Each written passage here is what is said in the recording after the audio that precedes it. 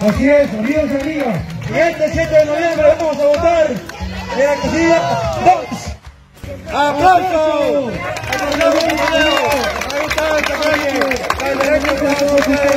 Gracias al gobierno, Daniel y la Rosario.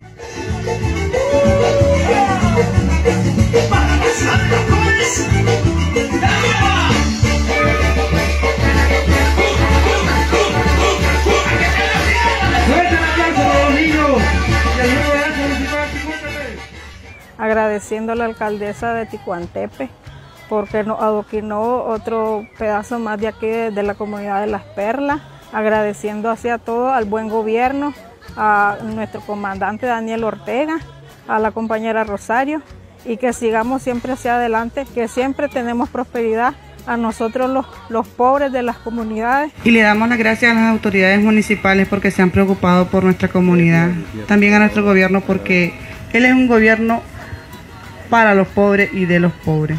Y él se ha enfatizado en garantizarle a nosotros lo que necesitamos más, la gente que, que trabajamos, que nos esforzamos por salir adelante. Pues dándole verdad infinitamente gracias a Dios por este adoquinado, ¿verdad? Y a nuestro buen gobierno y a nuestro gobierno municipal que escucharon, ¿verdad?